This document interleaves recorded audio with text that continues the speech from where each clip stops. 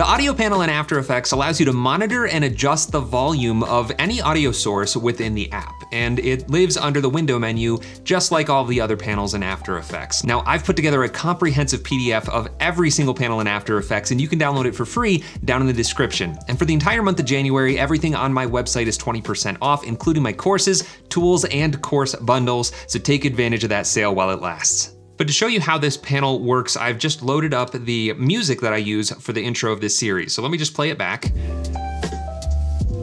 And notice that we're getting live monitoring right here with the levels, just like you would see inside of another app like Premiere or any audio editing software. While I'm playing back, I'm getting a readout of the current level of volume measured in decibels. And there's these two yellow bars that show you where the max volume is over the last period of time, and each one of those bars represents the left and right audio channels. Now, we can see the audio waveforms for this layer if I double tap the L key. L once gives you the audio levels, double tapping L gives you the waveform, and if you hold shift and press L while the waveform is visible, you can get both at the same time. So this is just another visual readout of those audio levels. And if I play this back and grab this center slider, I can click and drag this down. And as soon as I let go, it drops that audio level. And if I stop the playback, those waveforms are also dropping. And notice that has adjusted the audio levels for that audio layer. So this is an interactive control for the amplitude of the audio levels. And I can even split the difference between the two.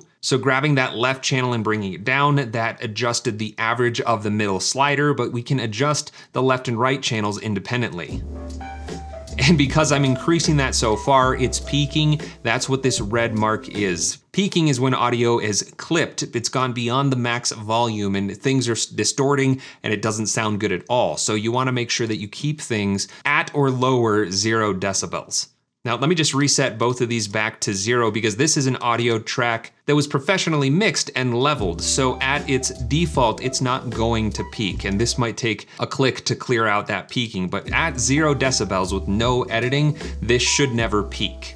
But that's about all we can do with the audio panel. I just wanna point out one more thing, that when I adjusted the left and right channels separately, it split that audio levels out into an array for the left and right channels. And as far as I know, there's no other way to do this. I can't right click and say separate dimensions or anything like that. That is the only way to adjust the audio levels independently. Now, why you would want to do that within After Effects, I'm not sure. I don't edit my audio inside of After Effects, but it is a control that we have. I'm just gonna right click on the audio levels and say reset so we get back to that zero. And the only other setting this panel has to offer is under the hamburger menu, go down to options, and then this will allow you to change the units that you're displaying the audio in. So decibels by default, but we could also change this to percentage and click OK.